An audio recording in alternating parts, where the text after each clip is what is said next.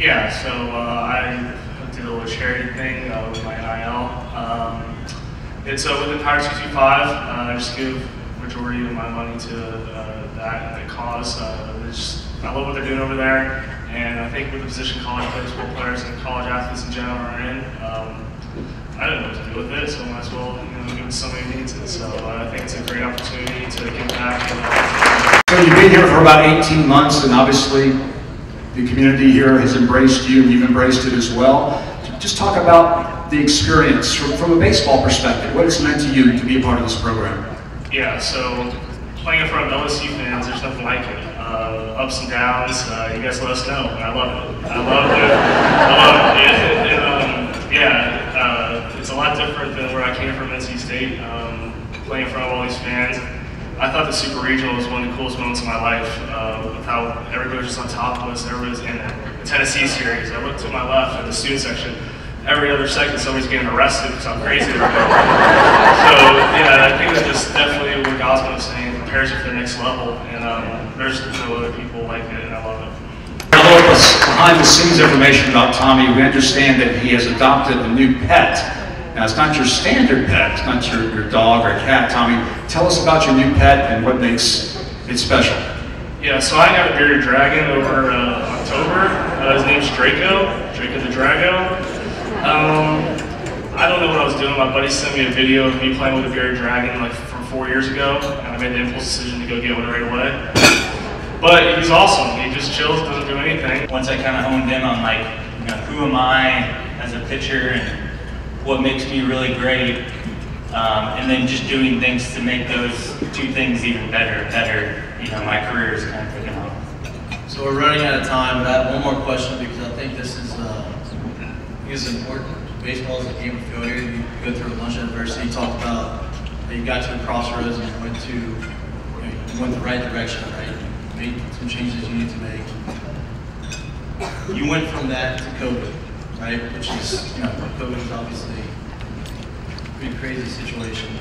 You have one of your better years of your career, and then you go through free agency the next year. And I, I got a firsthand look at this because I was, me and you were training together and I got to kind of get a backdoor or you know, behind the scenes look at this. And you had opportunities, you had multi-year deals for multiple teams. And you decide I'm gonna take a one-year deal, I'm gonna bet on myself, gonna go back to San Francisco and you have another, the next best year of your career. And you go to free agency again and you sign the deal with Toronto and you get to pick where you wanted to go and you were one of the best right-handed pitchers in, in all of baseball in the free agent market. Two years before that, you didn't know if you were to be playing baseball. You didn't know what job you were going to get. Talk about how you got through that adversity and what you had to do mentally because baseball is such a tough sport mentally. Um, and you went from one year not knowing what's going to happen to two years later being the top right-handed pitcher in free agency.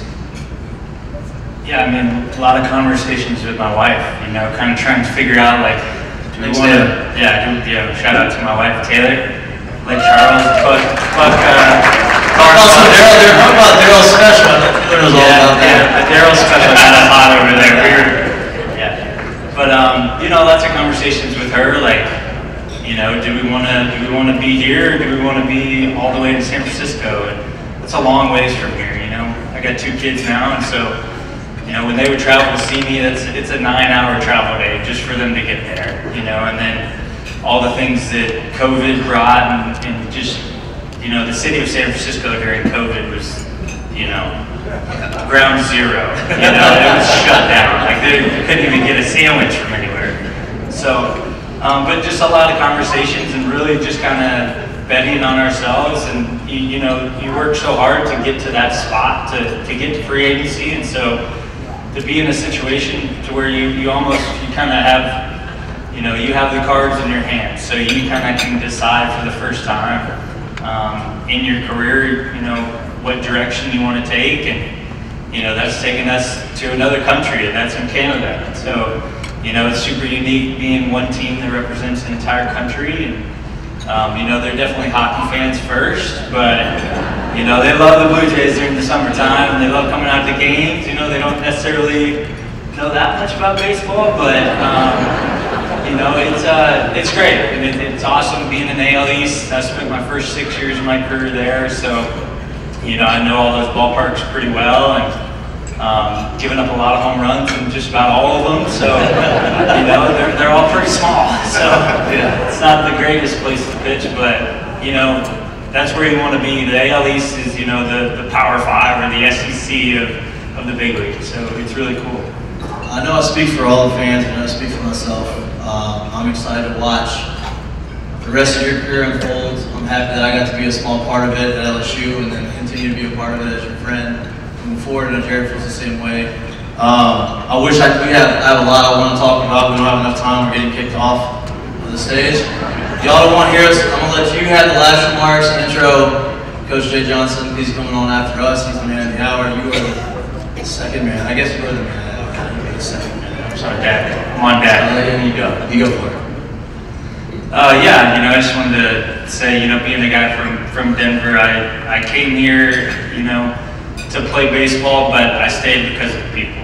And, you know, if you're a freshman in this room, if you've been able to get around and, and interact with people around here, you know, anybody in here will give you the shirt off their back and not even think twice about it. So that's really rare to find nowadays, and that's, you know, why we have 120 tables or however many there are here, and why this thing gets bigger every single year. But, you know, just kind of those young guys just kind of hone in on, you know, you represent an entire state and, and a lot of people that really care about this program and, doing things the right way. But, you know, just want to wanted to say that, but you know, this is the most important guy that we're all here to listen to, and that's Coach Jay Johnson of the uh, defending national champion LSU Tigers.